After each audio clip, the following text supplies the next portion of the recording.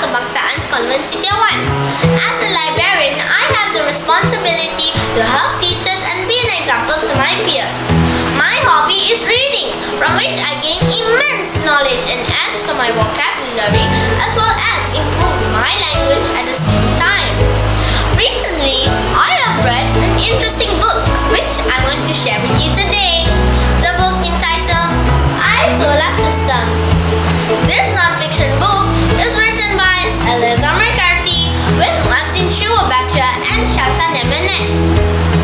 This book was published in 2013 by Carlton Book Limited. It has a total of 28 pages, which 11 of the pages in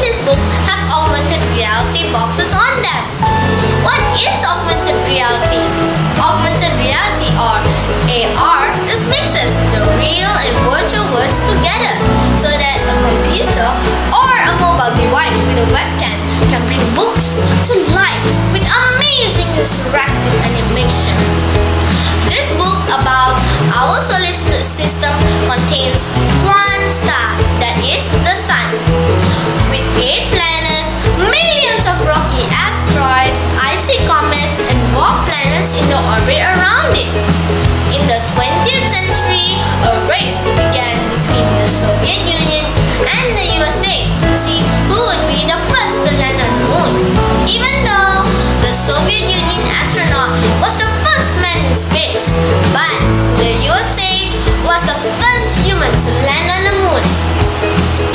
Meanwhile, humans haven't visited the moon since 1972, but space has not been abandoned since then, thanks to the launch of the International Space System. Since October 2000, not a day has gone by without a person in space.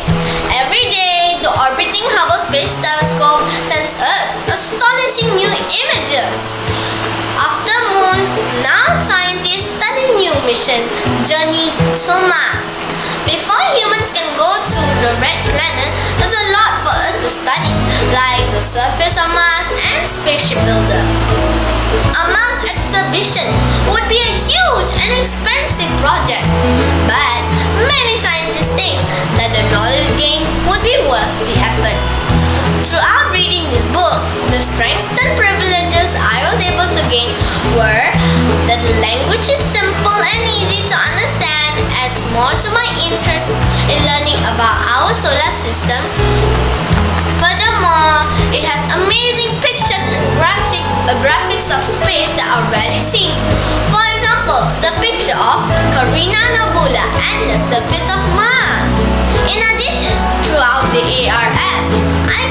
Interactive animations like I can swipe and zoom to explore the bare rocky surface of the moon. By reading this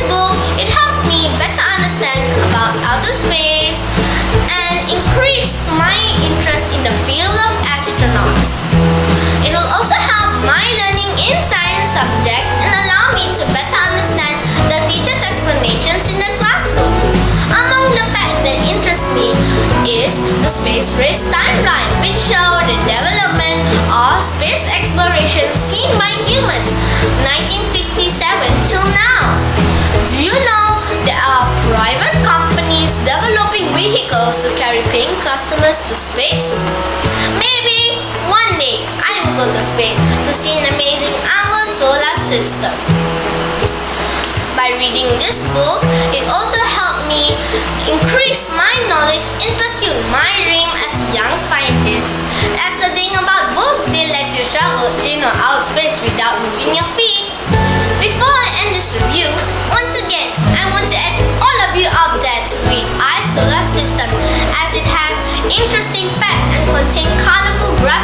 will definitely increase our interest toward completing the book.